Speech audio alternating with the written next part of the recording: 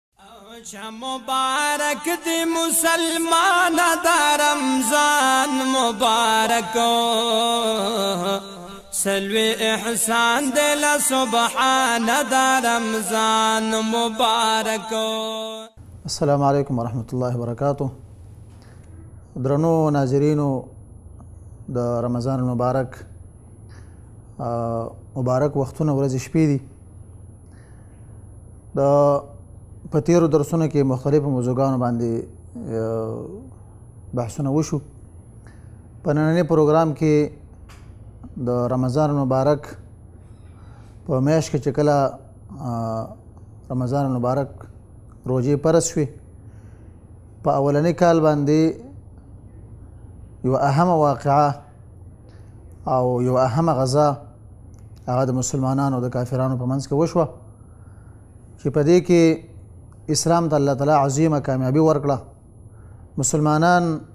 د یو طاقت په حساب باندې راخکاره شو او خلکو وپېژندل او د کفارو د کافرانو غرور او تکبر هغه الله تعالی د خاور سره خاور ک په نننې پروګرام کې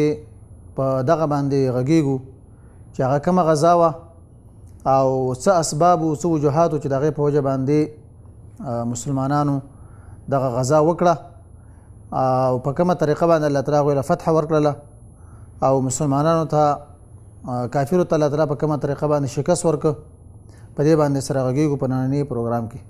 په سټوډیو کې را سره ملمه دی فضیلت الشیخ محترم مولانا فضل ربی صاحب تاسو هر کله او هر کله راشي پروګرام کې محترم شیخ صاحب لکه څنګه چې د اسلام په تاریخ کې د ټولو نه غټه غزا هغه د رمضان مبارک په میاشت کې شوې وه چې هغه ته د بدر غزا ویل کېږي د دې په باره کې مختصر معلومات چې څو جهاتو چې هغه د غزا وشول او څنګه وشوه الحمد لله الحمد لله والصلاة والسلام على رسول الله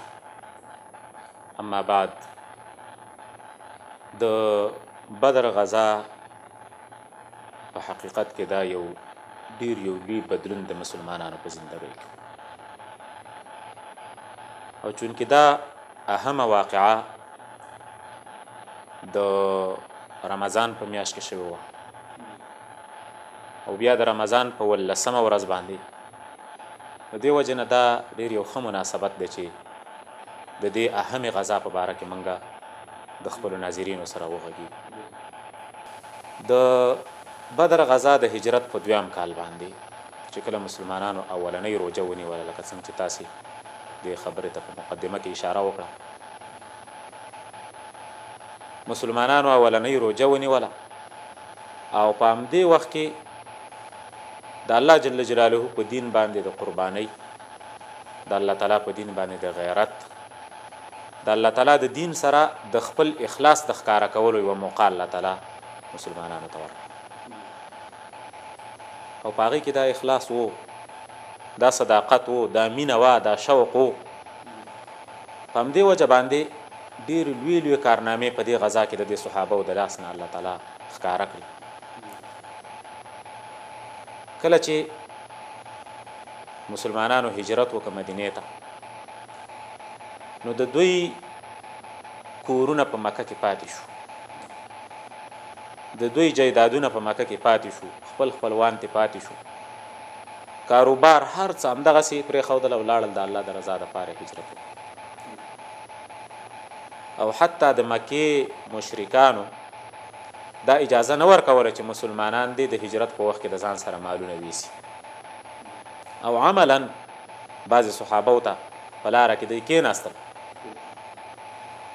او دا کوشش یې دا خبره ورته وکړل چې که تاسې ځئ نو دا مالونه چې په دې مکه کې تاسې ګټلي دي او په دې مکه کې مې یوه زندګي جوړه کړې ده دا خو رانه نه شئ وړی هغه یې ترې غصب کړو واغستل د یوه جوړه جامو سره همدغسې دا صحابه کرام د خپلو کورونو نه ووتل او لاړل مجبور شو په مدینه کې دیو د مهاجرت په ماحول کې د غربت او د فقر زندگی تیروله خو د رسول کریم صلی الله علیه وسلم په صحبت او داغه په ملګرتیا باندې د دې زړونه ډاډو د ایمان په ماحول کې په یو ایمانی مدرسه کې د دیو تربیت کې روان یو وخت الله جل جلاله دا وغوښتل چې د مسلمانانو ته د الله په لار کې د قربانۍ او د الله تعالی په دین باندې د غیرت کولو او د نن کولو موقع ورکړي د جهاد میدان د بدر په غزا کې ګرم شو حالات دې برابر شو چې د مکه د مشرکانو هغه مشرکان چې د مسلمانانو زندگی غصب کړي و د مسلمانانو نه هر څه غستي آزادانه غي تجارتونه کول روانو ګرځیدل به مسلمانانو دا وغوښتل د رسول کریم صلی الله علیه وسلم په قیادت چې د دیو دغه تجارتي لارې قطع کی د دې لپاره چې په دیو باندې فشار راشي ځکه چې هغه عملا د مسلمانانو سره په دشمنی کې کیو مدینه ته خطر متوجه کړو وخت په وخت به په مدینه باندې حمله کولې پټي پټي او مسلمانان یې تنګول حتی د مسلمانانو زندګي په مدینه کې د خطرې سره وه انصارو ته تهدیدونه راولېږل چې تاسې زمونږ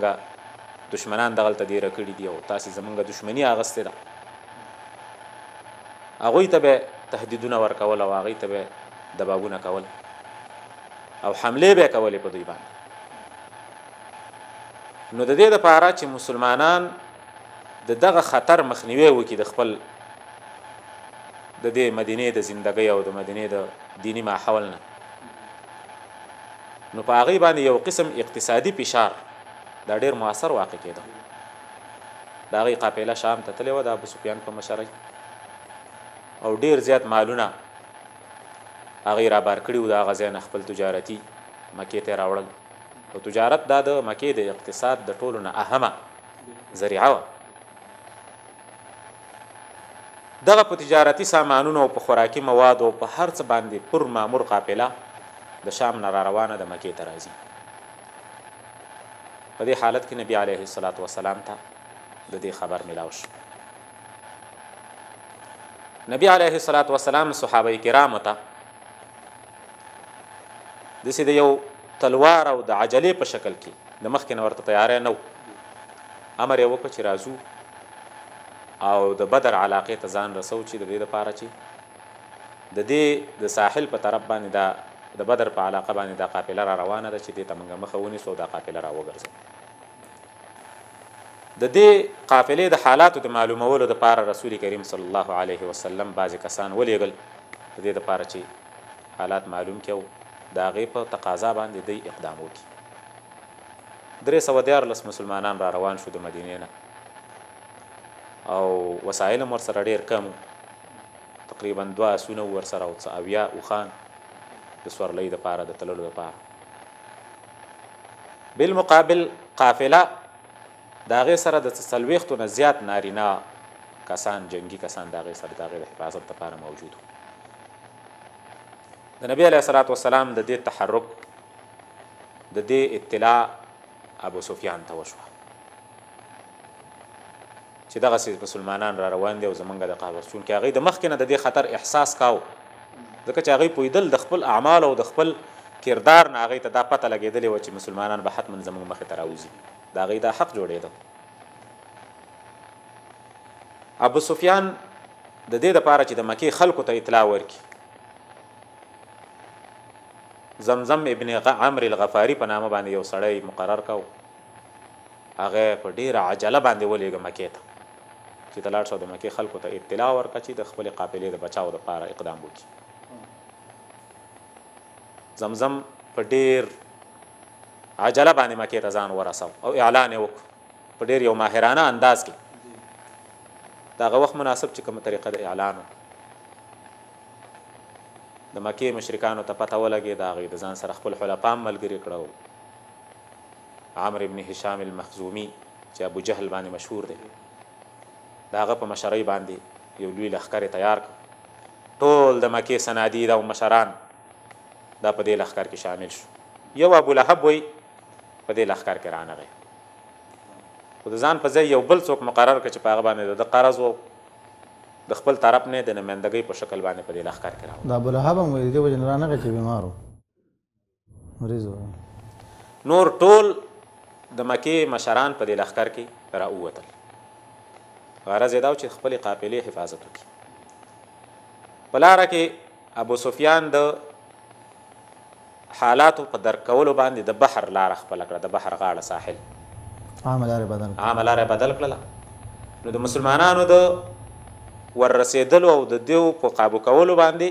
د دیو خطره هغه دفع شوله. هغوی په دې پوه شو چې زمونږ قافله خلاصه شوله او بچ شوه. ابوسفیان بېرته د مکې مشرکانو ته احوال راولېږه چې قافله بچ شوه او تاسې هم بېرته واپس شئ ځئ خلک هم ډېر رغبت لاره چې واپس شي لیکن ابو جهل د دې خلکو د تللو مخه ونیوله ویل چې موږ به ځان بدر ته رسو او هلته به میله کو ډمې به ګډو اوښان به حلالو او یو تظاهر یو مظاهره به کو چې عربو ته پته ولګېږي چې موږ یو څوک یو د دې لپاره چې آینده کې بیا زمونږ په مقابل کې څوک راپانڅېږي. هسې د الله تعالی تقدیر دا و چې دی دغه علاقې ته راورسوي. لښکر راروان شو او د بدر علاقې ته راورسېد. دلته د مسلمانانو لښکر هم د رمضان په ولسمه شپه باندې دې علاقې ته راورسېد د کویانو په خوا کې حباب بن منذر رضی الله عنه نبی علیه السلام ته مشوره ورکړه چې کوم کویان دي د دې په خوا کې باید موږ ځای ونیسو د دې لپاره چې د اوبو دا تکلیف موږ ته پیدا نشي چرته ځکه دا خو دشته د صحرا ده چې دا وب زمنګ په تسلط کې واک کې نو د مکه د مشرکینو په نسبت باندې به منګه یو سنا څه دلته آباد یو خبيو نبي عليه الصلاة والسلام د هغه مشوره ومنله، د حالاتو د معلومولو لپاره يې علي رضي الله عنه او يو دوه نور صحابه ولېږل، هغوی چې وګرځېدل نو بېرته يې احوال راوړ چې د غره نه آخوا ته، د ډېرکو نه آخوا ته د مشرکينو لښکر را رسېدلی دی او څه تقريباً د زرو کسانو په شاوخوا باندې لښکر راغلی دی. او یو مجهز لخر نبی علیہ الصلوۃ والسلام د صحابه کرامو سره مشوره وکړه مهاجرینو نبی علیہ الصلوۃ والسلام ته اطمینان ورکړ چې منګه جهاد کوو جنگ کوو د خلکو سره درې ځله نبی علیه الصلاۃ والسلام د دیونه مشوره مطالبه وکړه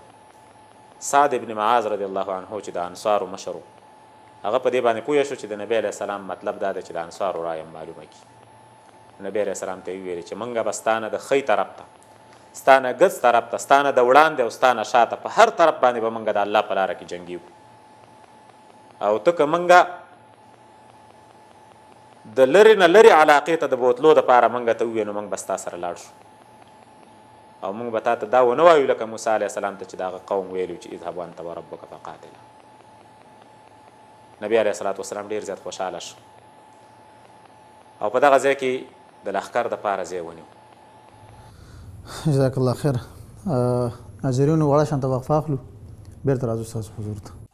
چا مبارک دی مسلمان دا رمضان مبارک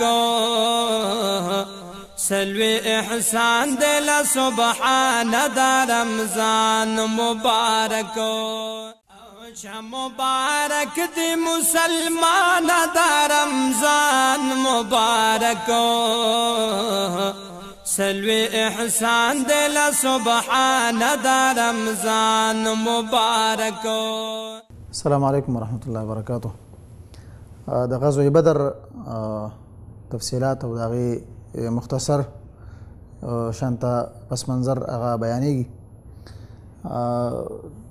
نبی علیه الصلاة والسلام او صحابه او مشوره په دې باندې وکړه چې جنگ وکاو نور دغه نو ورسته بیا په کومه طریقه باندې کله چې د نبی علیه الصلاة والسلام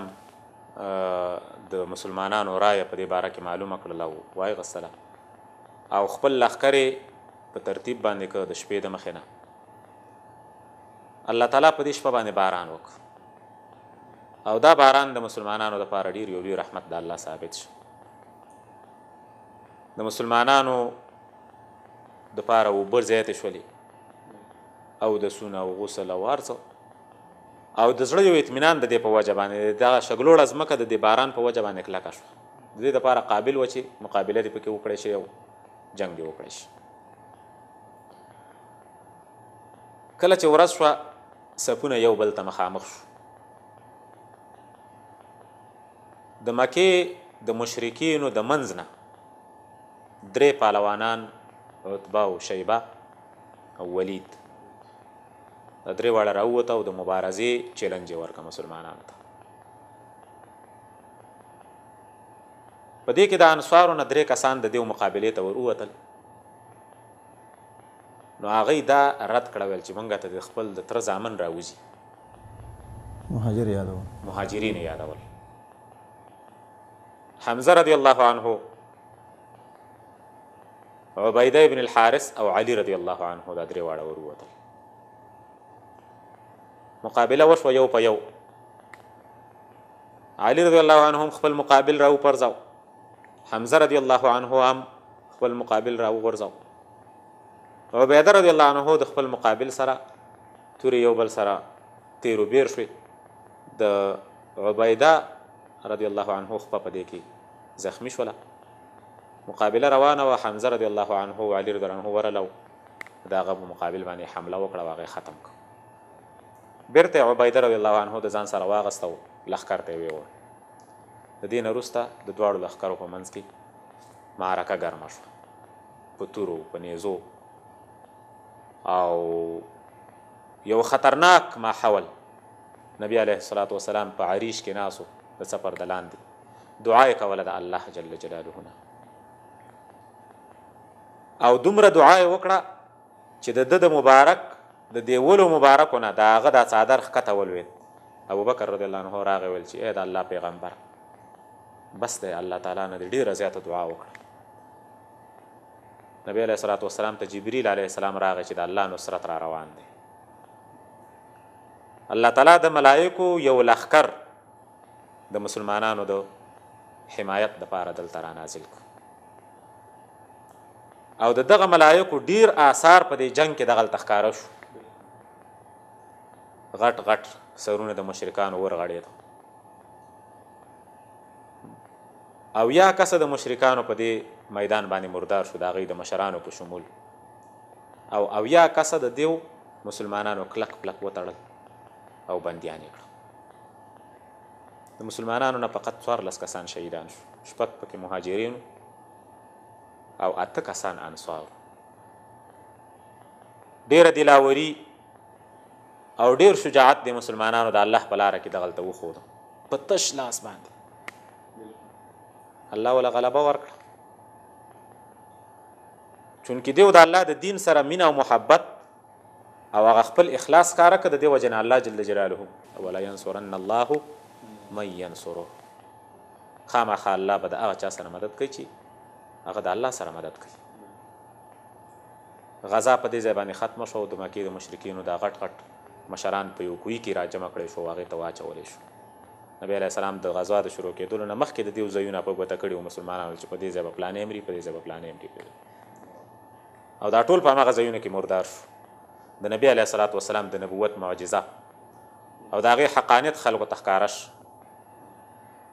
د دې غزا نه ډېر لوی عبرتونه او پندونه مسلمانانو ته میلاو شو. یو خو الله جل جلاله د دې غزا په وجه باندې مسلمانان په دې علاقه کې د یو قوت په شکل باندې راښکاره کړ په مدینه کې د دیو هیبت پرېوت خوا او شا د عربو قبایلو د دې حالاتو نه هغوی خبر شو چې څومره کم لښکر په څومره لوی او مجهز لښکر باندې دا غالبه کیږي ښکاره نښه د حقانیت د دې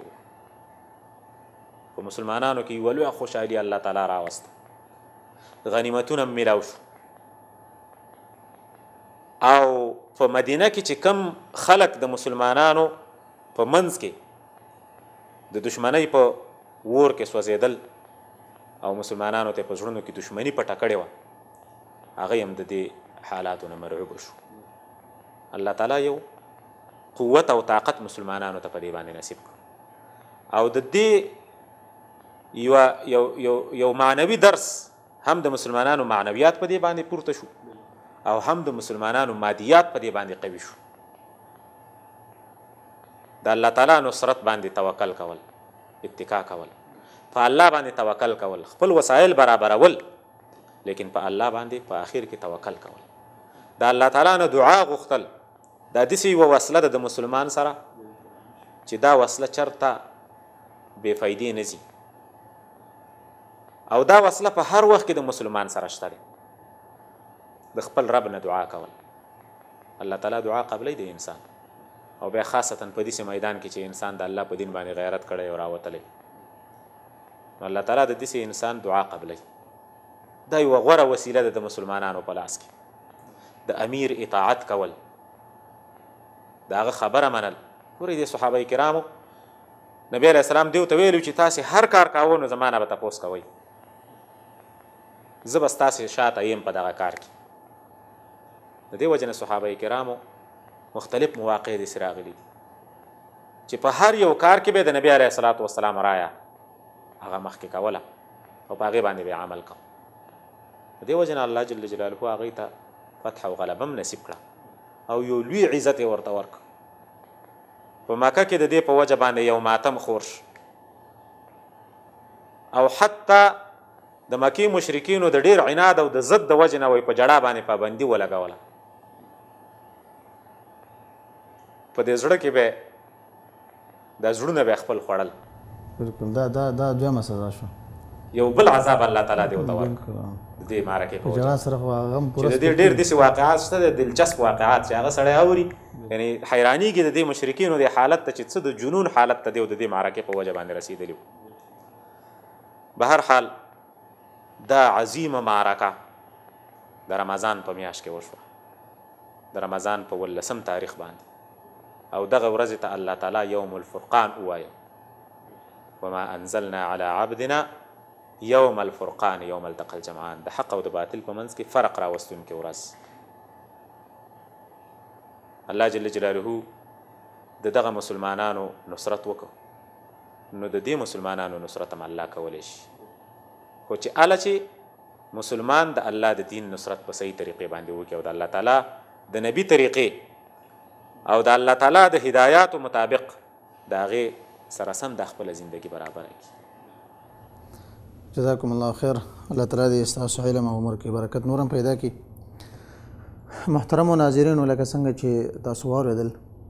چې معمولی شانت خلک وړه شانت ډله هغه الله تعالی په غټه ډله باندې هغه ته الله تعالی غلبه ورکړه د دې شاته څو پراتو عظیم طاقت څه شو هغه ایمانو قران کې الله تعالی فرمایي وانتم الاعلون ان کنتم مؤمنین که چېرته ایمان د چا مضبوطي نو د هغې مخې ته دنیوي یو طاقت هم نشي ټینګېدلی او مثال یې زمونږ او ستاسې مخې ته د بدر غزا او دغه شان د هغې نه وروسته چې څومره غزاګانې او څومره جنګونه د مسلمانانو شوي دي نو د مسلمانانو عدد او طاقت په څو چند باندې کمی او د کافر هغه په څو چند باندې زیات خو الله تعالی به هغه غلبه ورکړې ده د خپل ایمان حفاظت دا په موږ تاسو باندې لازم دی چې خپل ایمان محفوظ وساتو د دې وجه نبی عليه الصلاه والسلام عائشه رضی الله فرمایي چې نبی عليه الصلاه والسلام په سجده کې همیشه د دعا کوله چې اللهم یا مقلب القلوب ثبت قلبي على طاعتك همیشه د الله تعالی په اطاعت کې اوسېدل د الله په د الله او د الله رسول په اطاعت کې همیشه اوسېدل په دغه باندې سړی ایمان مضبوطیږي